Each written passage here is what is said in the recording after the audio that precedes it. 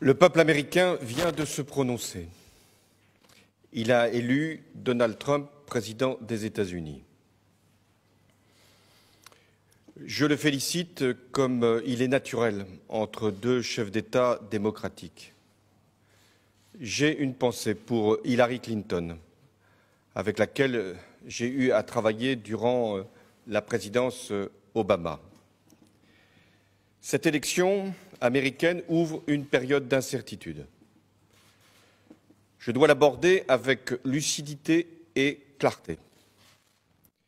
Les États-Unis constituent un partenaire de tout premier plan pour euh, la France.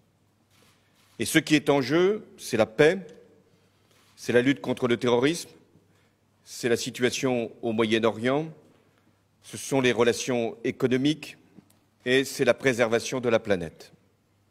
Sur tous ces sujets, j'engagerai sans tarder une discussion avec la nouvelle administration américaine.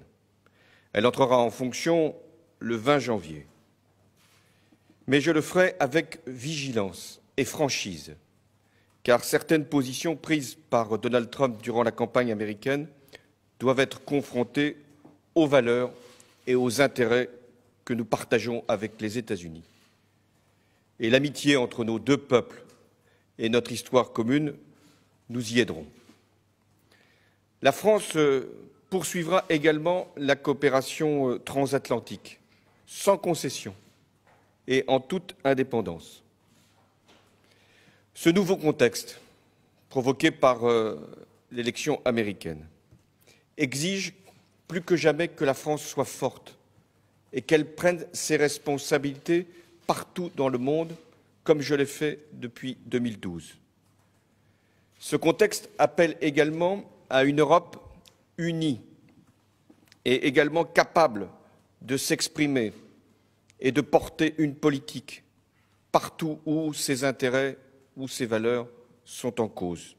Je pense à la liberté, à la dignité, à la cohésion sociale, à la lutte contre la pauvreté, Enfin, des leçons sont forcément tirées de tout scrutin. Une élection américaine va bien au-delà des seuls États-Unis. Et euh, cette élection vient après d'autres scrutins.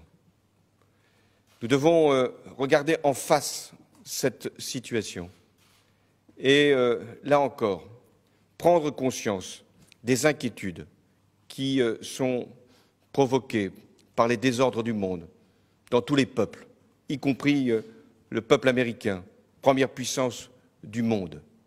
Alors, nous devons trouver les réponses.